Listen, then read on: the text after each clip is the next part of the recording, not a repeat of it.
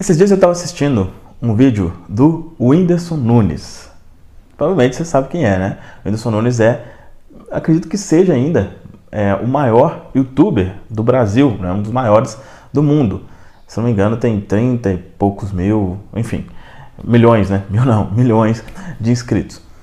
É, e tem um, eu já tenho um costume, né? Depois que você começa a entender como as coisas funcionam aqui no YouTube, é, eu tenho o costume de, quando eu vejo um canal assim, que tem uma audiência grande, eu vou lá nos vídeos mais vistos desse canal. Né? Então tem como você fazer isso, você pode fazer isso em qualquer canal. Deixa eu ver aqui quais são os vídeos mais visualizados. Né? Vai lá em vídeos, coloca lá é, mais, mais visualizados ou mais populares, né? não lembro exatamente o termo, mas você vê lá os que tiveram mais visualização.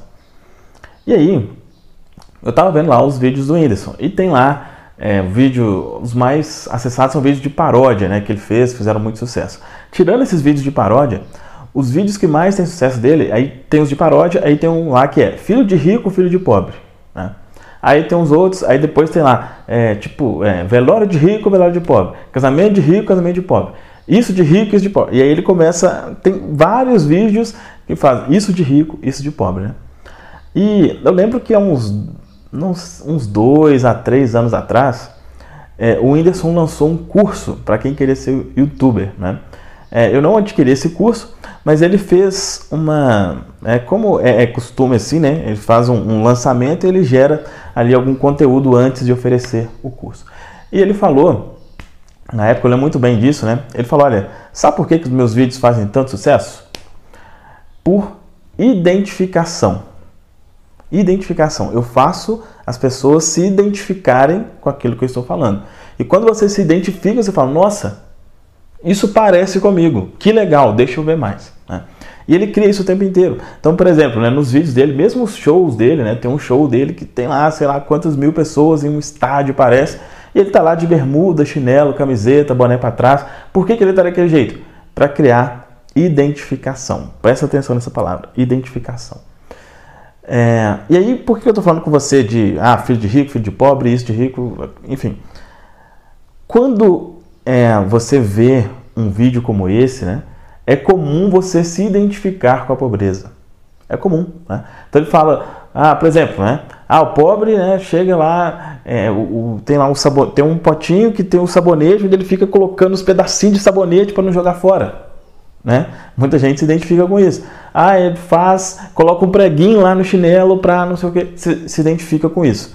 Ok, você né, vai rir disso, ok, né? não, não tem problema nesse sentido. Mas aonde que está o problema mesmo? É a questão da identificação com a pobreza. Tá? Você se identificar, você falando, se, se for uma coisa, né, de nossa, isso já aconteceu comigo, ok. Mas fala assim, nossa, eu sou assim. É, é, eu, eu sou exatamente desse jeito. Quando você se identifica com a pobreza, a base do que tudo que a gente fala aqui, né? Aquilo que você pensa que é, você realmente vai ser. Então, se você se identifica com a pobreza, você vai ser pobre. Enquanto você estiver tiver a identidade de pobre, é como se fosse um carimbo assim, ó. A identidade é como se fosse um carimbo. Eu sou pobre. Enquanto tiver esse carimbo, você vai ser. E é uma coisa que assim, olha, você ter é, quando você tem a identidade pobre, para sair, né, então quando faz essa comparação, né, pobre e rico, normalmente quem tem identidade de pobre, por mais louco que seja, ele não quer ter identidade de rico. Na, a, a gente aprendeu, a maioria de nós aprendeu que a pessoa rico é, é chato, é, é, não sei o que, ele, enfim, tem, tem defeitos, tem defeitos que eu, apesar de ser pobre e enfrentar muitas dificuldades, não quero ter.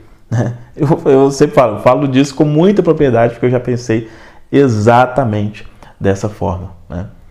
Então, o que eu quero te passar aqui nesse vídeo? Não se identifique com a pobreza, né? Quando alguém falar alguma coisa assim, ah, pobre é assim, você sabe, fala, é. Mas não se identifique. Agora, o ideal, né? O ideal, não se identifique com a pobreza, se identifique com a riqueza. Aí é o melhor dos mundos, tá? É um processo que normalmente ele é, como, é, é entre aspas, um pouco dolorido ali, porque como eu estou dizendo, muitas vezes a gente aprendeu que o, o, rico é, né, é algo que a gente não quer ser, então como é que eu vou me identificar com uma coisa que eu não quero ser? Mas se você tirar essa identidade, esse carimbo né, de pobreza e inserir o carimbo da riqueza é exatamente o que vai acontecer também. Não necessariamente, não quer dizer, né? É importante sempre dizer isso. Não quer dizer que ah, agora eu penso como rico, acabou, não preciso fazer mais nada, tudo vai. Não necessariamente isso, mas de forma gradativa pode ter certeza que as coisas vão acontecer para você. Então, resumo: não se identifique com a pobreza. E se você quer uma ajuda né, para isso, um passo a passo para eliminar crenças negativas de pobreza, de escassez e criar uma mente próspera, conheça aqui é, o Destrave Sua Prosperidade. Tem um link aqui abaixo para você conhecer. Beleza? Fez sentido essa conversa? Deixa um comentário aqui, gosto muito de saber o que você está pensando. Dá um like aqui no vídeo. É isso, forte abraço, até o próximo vídeo.